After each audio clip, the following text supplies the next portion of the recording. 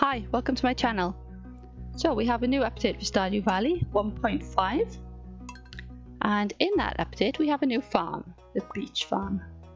And we also have this new option for advanced game options where you can remix community centers, remix mines, guarantee year one completable community center so the red cabbage seed will appear in the um, merchant, traveling merchant.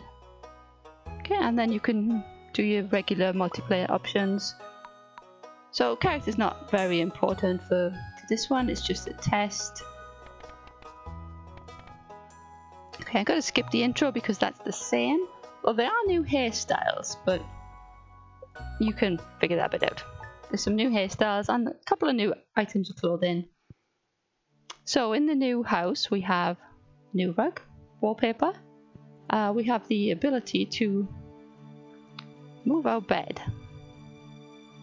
So you can actually put that where you want. And I'm going to take this furniture with me just to show off something else. Okay, so outside we have, we can move the shipping bin now if we go and talk to Robin. It's the spouse area and we can put furniture out here. And we can sit on it which is very cool. The pet area and the teleporting shrine.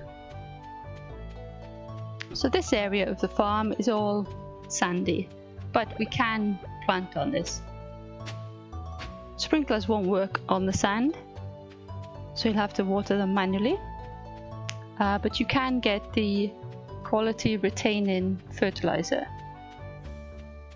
which will make things useful. Okay, so down this side uh, is the south exit to go to the forest and Marnie's, uh, Marnie's ranch.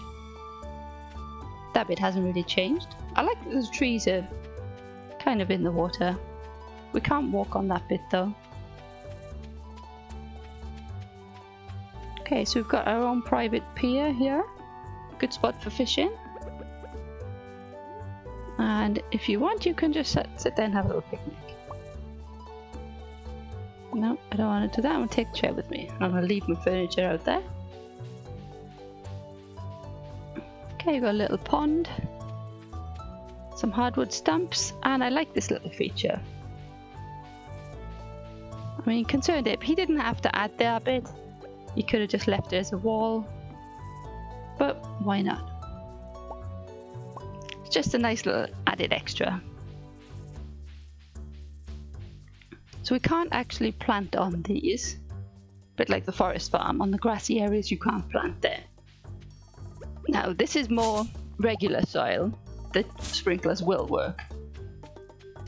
And by the looks of the size, you could probably get a fair few iridium sprinklers in there. My guess would be about six Okay, we've got a lot of rocks to get rid of here. I like this little extra bit to get to the greenhouse, which we can also move now at Robin's. So you could put the greenhouse somewhere else and put like a, a coop there and have all your ducks. Grandpa's shrine, that hasn't changed.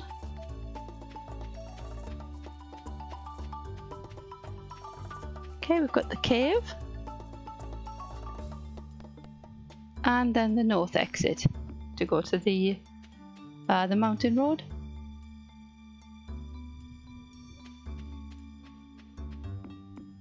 And then back to the main farmhouse. So there does seem to be quite a lot of space. I mean, if you cleared this away, there's actually quite a lot. Let's just zoom out a little bit.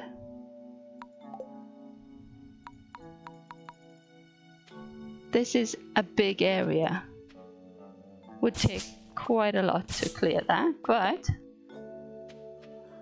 how much how much crops you want to put there, I don't know, because that will take a lot of watering. Anyway, that's my first look at the beach house. Um, check out some more videos. I'll be making more with lots of um, new content for the new update. So in the meantime, bye for now.